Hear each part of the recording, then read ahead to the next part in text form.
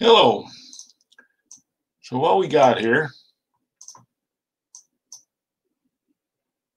is, I don't know why my video isn't videoing, but anyway, first we need to figure out how far he is from the top of the tower when he's 80 feet from the base. So use the Pythagorean theorem, 60 squared plus 80 squared equals c squared. We get c is 100. All right, so then we're going to go back to the Pythagorean theorem again. Let's say this one's A and this one's B. And we get the A squared plus B squared equals C squared again. We're going to differentiate that. We get 2 times A dA dt plus 2 times B dB dt equals 2 times C dC dt. Okay, now the height of the tower is not going to change, so the dA dt is going to be 0.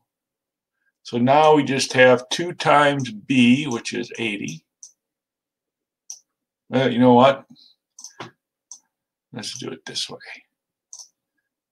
So we just have 2 dB, or 2B dB dt equals 2C dC dt. Okay. Divide both sides by 2, and we'll plug in the numbers that we know. We know that B is 80.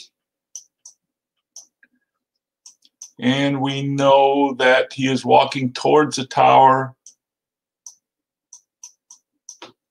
at 5 miles an hour. That's going to equal C, which is 100 times dC dt, which is what we're trying to find. Now, what's going to happen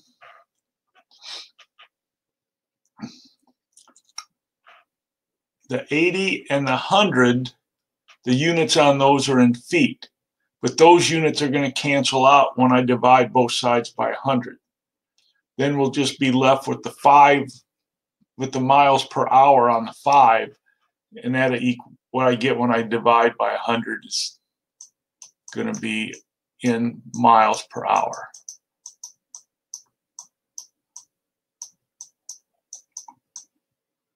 Okay, then when I divide, I get 4 equals dc dt. And that's going to be miles per hour.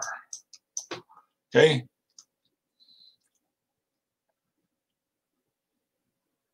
So he's approaching the top up here at 4 miles an hour.